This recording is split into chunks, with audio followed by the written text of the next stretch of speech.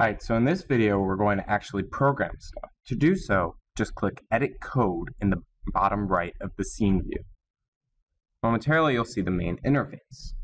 The Methods panel is what we call the panel below the scene view. This shows us actions or methods that objects can do. You can click and drag any of these methods into the Code Editor panel on the right to create your own methods and programs. Whenever you see a question mark, question mark, question mark next to the name of a method, that means that Alice is going to ask you for more information. So when you drag it over, it's going to ask us, well, what do you want the witch to say?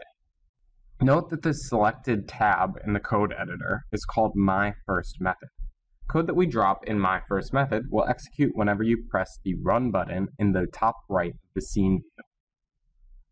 To start programming, click on the witch in the scene view and a list of methods that the witch can do will come up in the Methods panel. To have the witch cast a spell, find where it says this dot witch say. It's the very top method. Click it and drag it into the code editor panel. A menu will come up asking you what you want her to say. We're going to choose custom text string. And now you can type in the name of any spell you want. I'll type in the classic double double toil and trouble but you can type in whatever fancy spell name you want. You know, Wicked Welch's Wander West, or whatever. You can now see your first line of code. And if you click Run in the top right of the scene view, you can see your super simple program in action. To make things more interesting, we're going to stir the pot, literally. And so click on the spoon in the scene view. Alternatively, you can click on the drop-down menu immediately below the scene view, go under Prop, and select this dot magic spoon. Now the Methods panel shows actions that the spoon can do. To make the spoon stir the pot, we'll need to find its turn method. It's down in the third set of methods under Orientation, and you might have to scroll down to find it. When we drag it over, Alice is going to ask us for two pieces of information. First, the direction that it turns in. We'll choose right. Then it will ask the number of revolutions it should go around. We're going to choose 2. So now when we click run, the spoon sort of spins in place twice. Well, that's not quite what we want. We want it to turn around the pot. So we're going to hit X to close.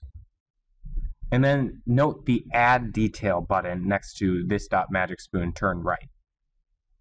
When we click on it, we'll see that there are some certain things that we can change about how the spoon moves.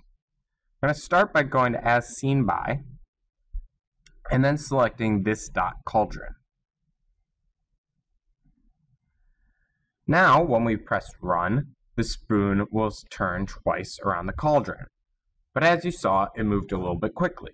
So once again, we'll hit X, and then add detail next to the turn method. And this time we'll choose duration. If we change the duration to custom decimal number, a calculator will come up. We can type in something like 5 for 5 seconds. Now when we hit run, the spoon will sort of turn at the perfect speed, in my opinion. As the last thing in this video, we're going to make the dragon appear. So from the drop-down list of objects immediately below the scene view, select this dot baby dragon. Now the baby dragon's methods will be in the methods panel. So scroll down all the way to find the set opacity method call under appearance. It's way down here towards the bottom. Drag this into the code editor below everything else and select 1.0. Finally, scroll all the way up in the Baby Dragon's method panel to find this baby dragon think. Drag this method into the bottom and then select custom text string and type mama or, you know, something similar. So now when we hit run, we actually have somewhat of a story. She casts a spell, the spoon will turn. The dragon appears and thanks Mama. In the next video, we'll create a brand new method where the witch celebrates her glory in summoning a dragon. But for now, just hit File, Save.